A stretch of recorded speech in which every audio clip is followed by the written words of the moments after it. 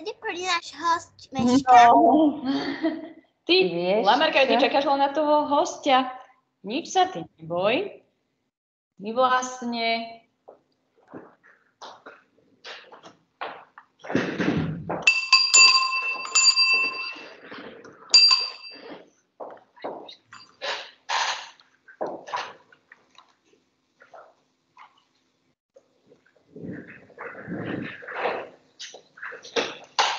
Danka a Janka sú sestričky dvojčence a sú na hlas rovnaké. Danka má oči celkom ako Janka, hnedé Nemáte kameru. ani gaštančeky. A Janka má vlasy celkom ako Danka, plavé a ostrihané ofinu. Ešte aj nosy majú celkom rovnaké, trošku vyhrnuté a veľmi všetečné. Danka a Janka sa rovnako aj obliekajú. Danka má vždy taký istý kabát ako Janka a Janka také isté šaty ako Danka. Aj čiapky a topánky majú vždy celkom rovnaké. Keď idú po ulici, každý sa zastaví. Ktorá je Danka, ktorá je Janka, ale nikto ich nerozozná. Iba mama, otec a brat Miško. Pre pána Jana, ty si... Prepačte, prepačte, nám sa niečo muselo pokaziť. Vy ste náš host. Dobrý No. deň. A Dobrý deň. ako to, že vy ste tu, my sme na chvíľu zmizli? Ja som sa tu ocitla. Ja neviem Áno. prečo. Na, ja neviem, či nám sa náhodou nepokazil časostroj, lebo Niečo tu cinkalo. niečo tu To začalo zvoniť a zrazu máme hostia, ale a kto ste? Dobrý deň. Ja som Mária Ďuričková. Určite ma poznáte.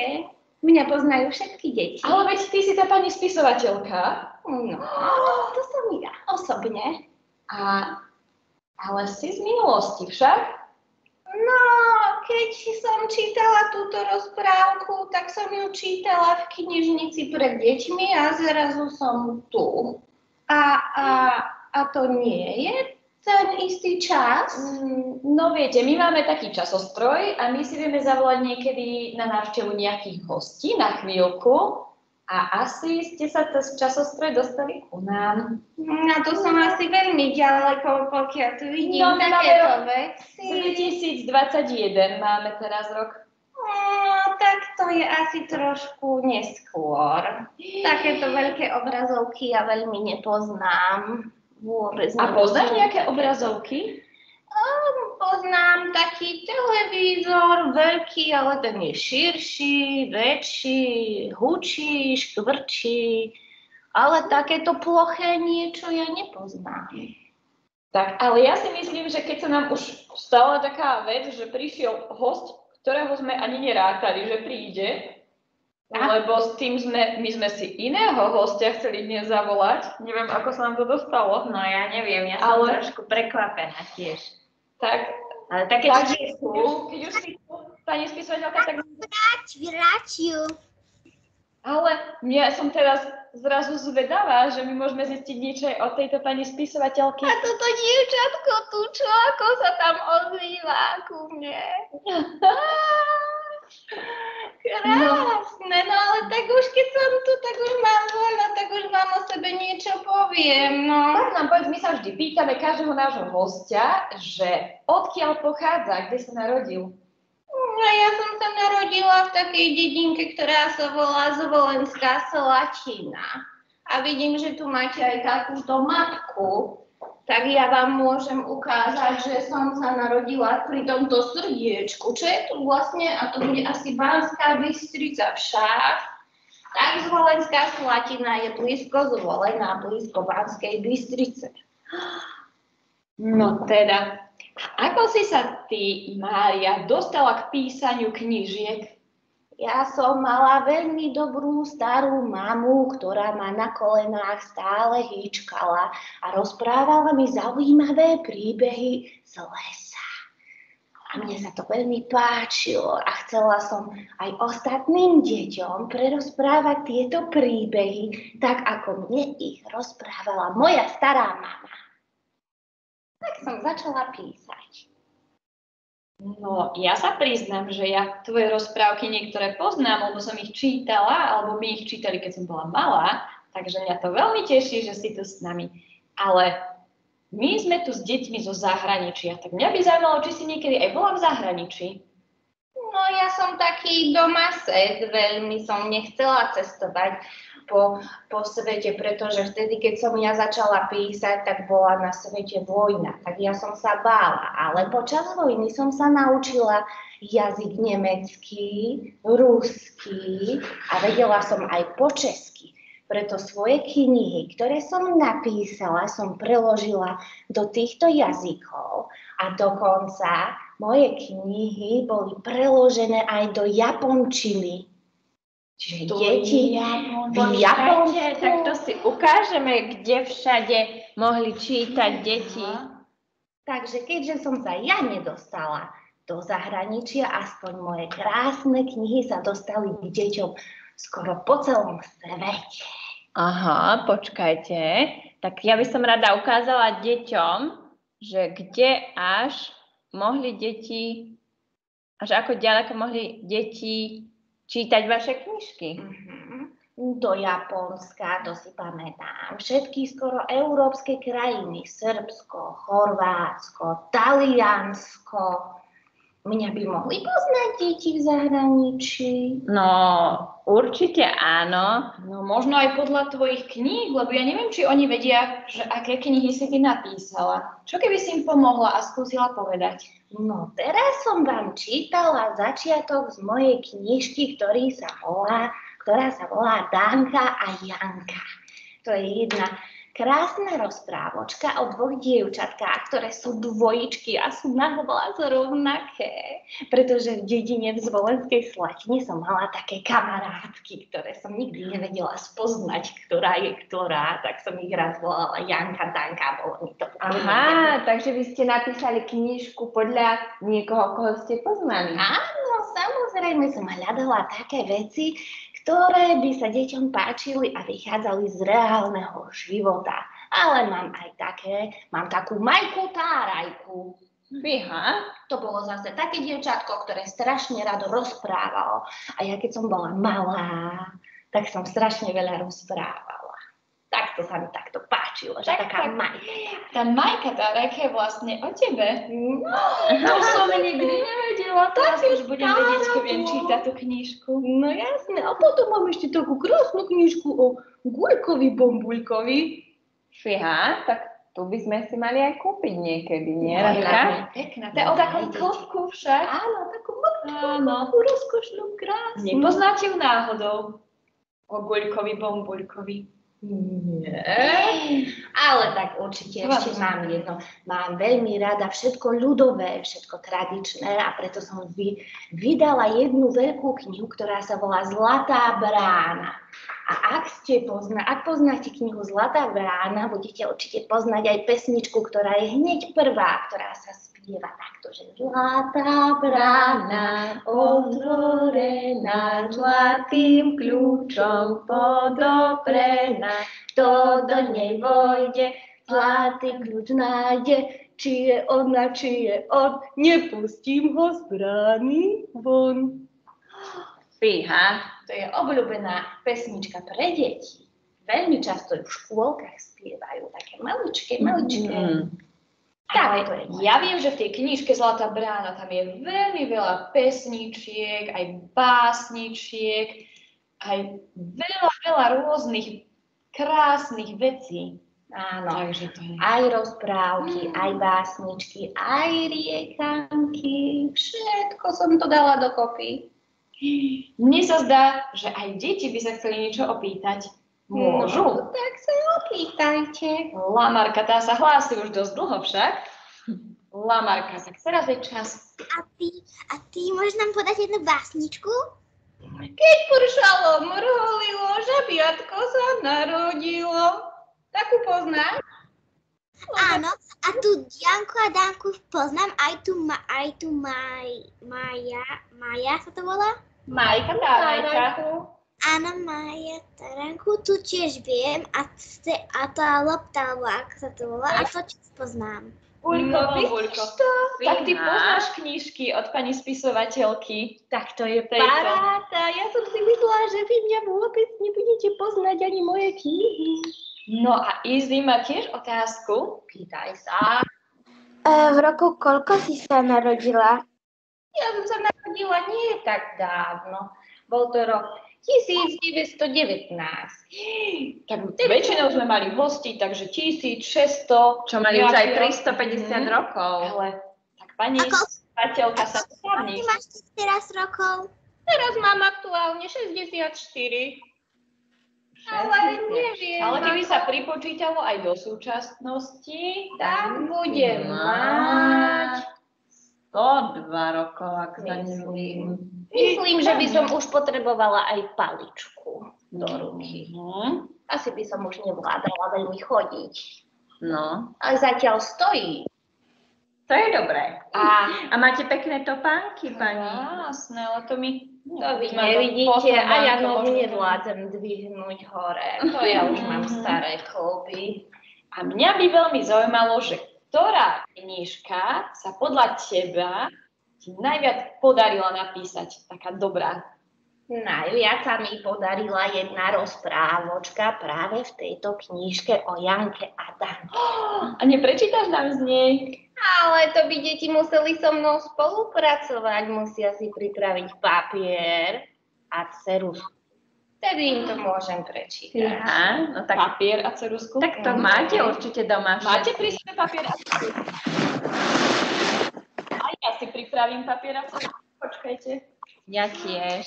Skúste si to pripraviť, bude to veľká nech sa zábava. páči. Ďakujem.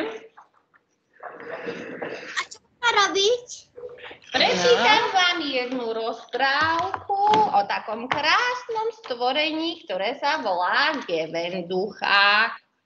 Ja, to je také zvláštne slovo, ja som to ešte nikdy nepočula. Je to niečo asi, čo nebudete veľmi poznať. A preto ja od vás chcem, že to, čo ja budem čítať, vy budete kresliť. A Mhm. uvidíme, ako vlastne naozaj vyzerá taká gevenducha. No tak to som zvedavá. To sa mi bude zvláštne kresliť, keď neviem, čo to je. To nevadí, že neviem, čo to je? Vôbec to nevadí, vôbec. Každý má predstavivosť úplne inú a kto ju má veľkú, spolu fantáziu.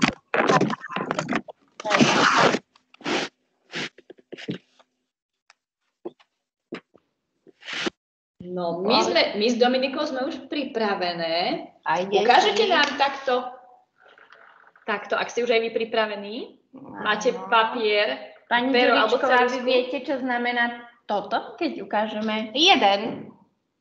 Jeden? Áno. Jeden. A môže to znamenať aj, že Mhm. som pripravený. Á, ja- Super, super mi Jaj, povedal. prepáčte, prepáčte. Tak. Á, To sa asi u vás tak neukazovalo. Nie, však? nie, my sme Mhm. ešte vedeli ukazovať takto.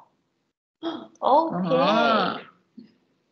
Trošku z angličtiny k nám došlo. Tak sme pripravení, pozorne počúvajte túto rozprávku a skúste kresliť to, čo ja prečítam.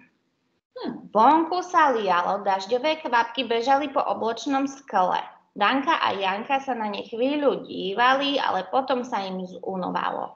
Najprv nakreslila Janka čosi guľaté. Mhm, takže všetci máme nakresliť Áno. niečo kulaté. Všetci nakreslia niečo guľaté. Niečo tu pípa. Čo to je? To sa nám chce pripojiť niekto. Mačko Á, sem prišiel.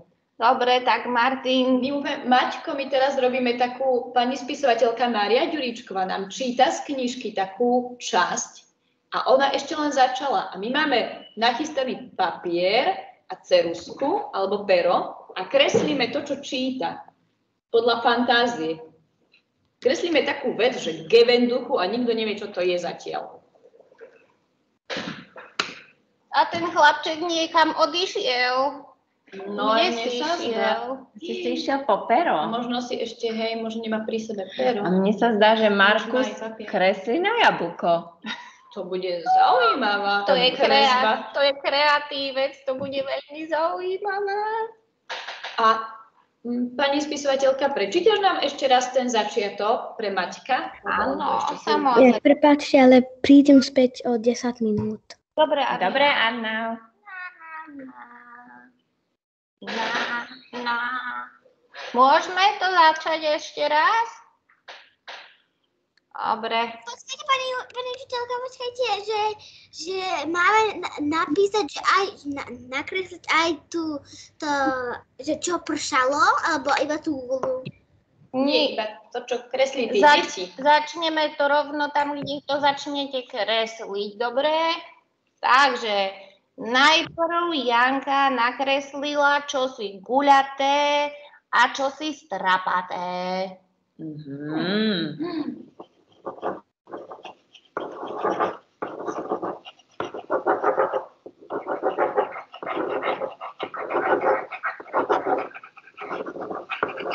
Guľaté a čosi strapaté. Danka k tomu nakreslila čosi rovné a čosi krivé.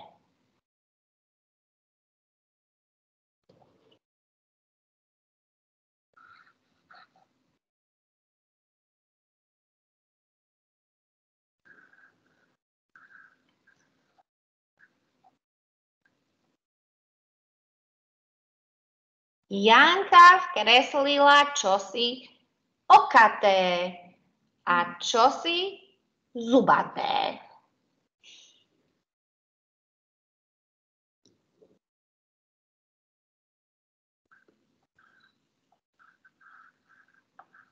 A Danka dokreslila čosi malé a čosi veľké. Čo malé a veľké? Jak čo mám nakresliť malé a veľké? No to už si musíš ty vymyslieť, moja malá drahá. Vymysli tam niečo malé a veľké.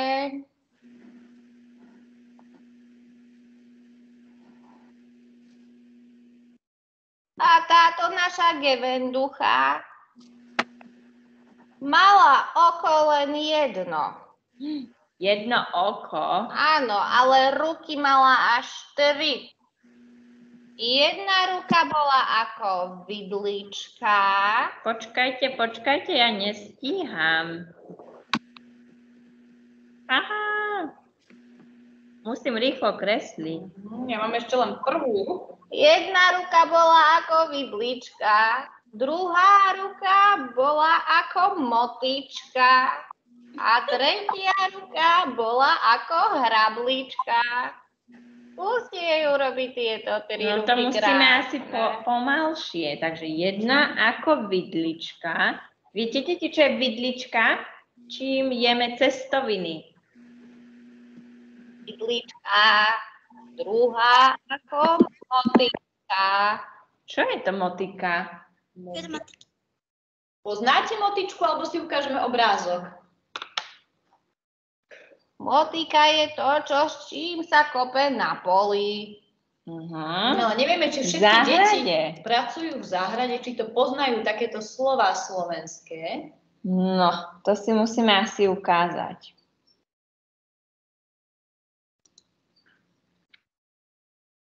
Ideme radšej, aby sa nestalo, že niekto nevie, čo to je motička.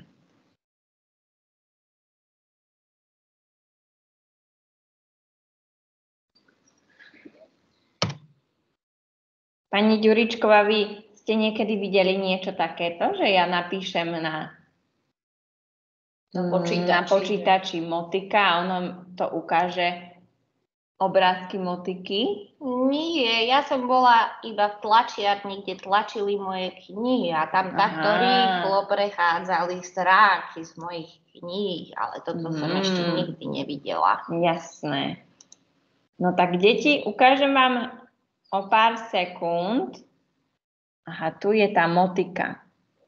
Áno, niečo takéto. To je motika. No, to je už aj rýl, ale dobre. Takže jedna ruka bola ako motička. Takže jedna bola niečo ako toto. Áno, jedna bola ako vidlička, druhá ako motička Mhm. a tretia ako hrable. Áno, Lamarka? Čo sú hrable? Áno, aj hrabličky si na, napíšeme, ukážeme. Hrabličky. S tým sa hrabe u nás listie v jeseni.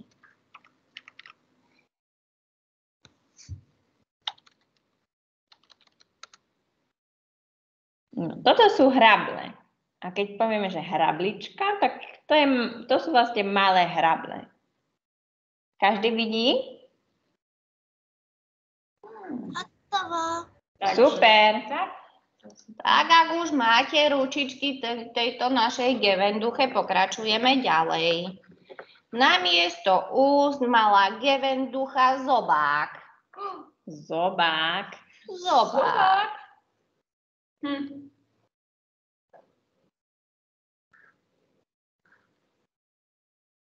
A uši mala také veľké, že sa do nich mohla zakryť ako do kabátu.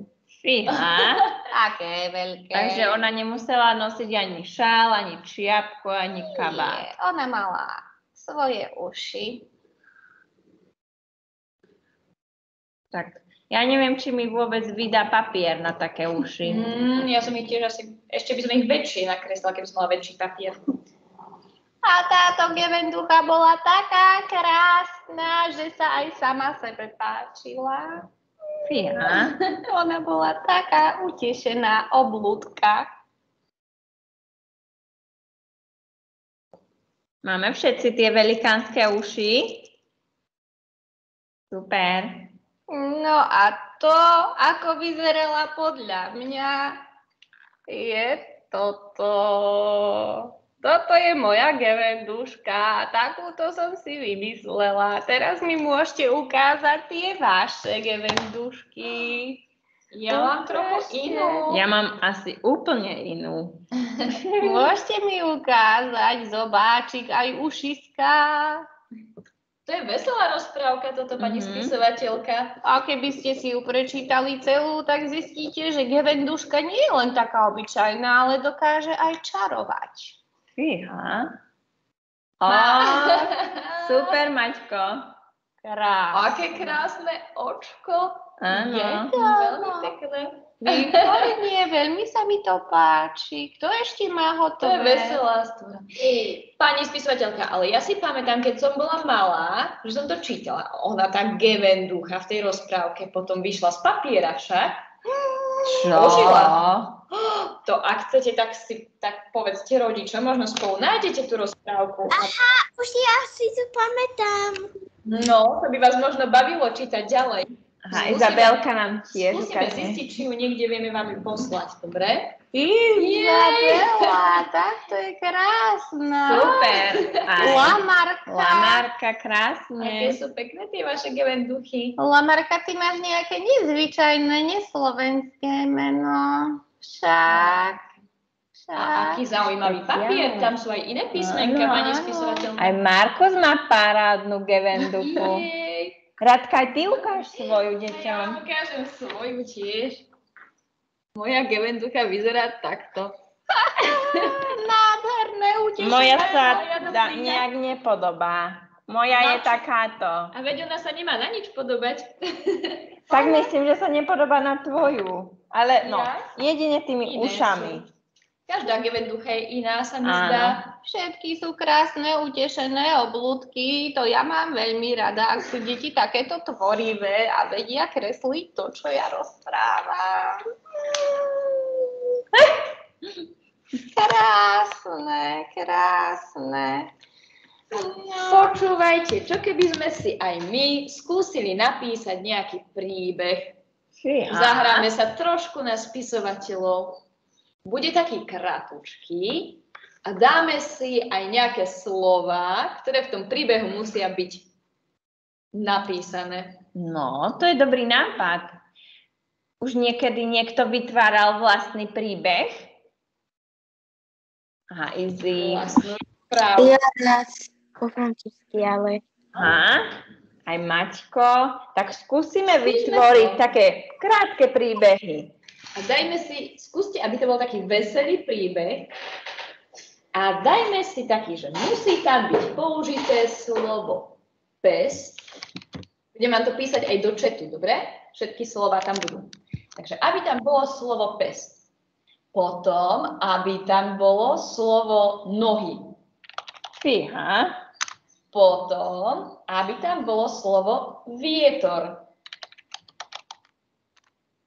Potom, aby tam bolo slovo leto, Mm. slovo čokoláda, Ó, to sme včera mali. Deň čokolády. slovo vodopád, krabica, Kresliť. Uh, to napí- nie nakresliť, ale hm, vymyslieť taký príbeh. krátky príbeh.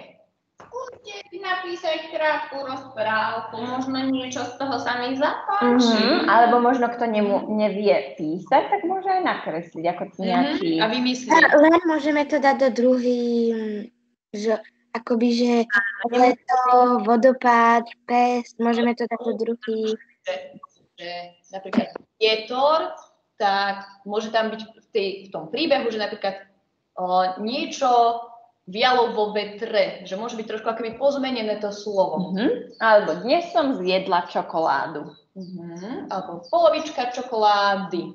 Hej, môže byť tak Mhm. trošičku zmenené to slovo. No a posledné slovo, dajme slovo ozdoba. Mhm. To Skúste čo najviac týchto slov použiť v tom príbehu. A aký dlhý by mal byť tento príbeh? Mm, nemusí byť dlhý, dajme si skôr taký čas, že za ktorý Mhm. budete mať čas to napísať a možno by sme to rovno mohli spojiť aj s prestávkou. Čo poviete? Mhm.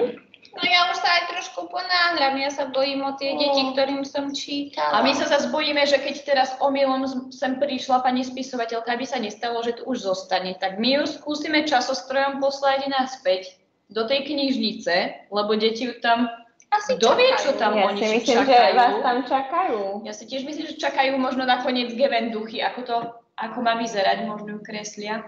Ja sa odčarujem asi sama s gevenduškou. Musíte všetci A- nahlas zakričať. A aj keď sme to tak neplánovali, tak veľmi pekne ďakujeme za návštevu. Nemáte za čo, nakoniec som rada prišla vidieť takéto deti tu v tejto plochej obrazovke.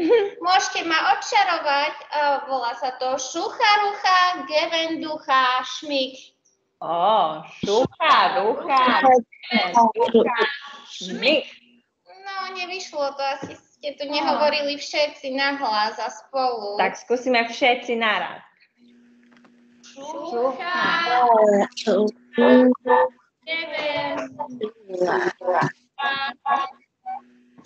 šmik. Nie, nie, áno. Ešte raz. Posledný krát nepočujem vás, nepočujem. Šucha, rucha, geven, ducha.